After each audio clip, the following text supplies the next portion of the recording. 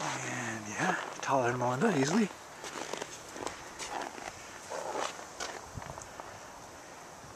I'm hoping that'll come off nicely when we drive. Yeah, all right.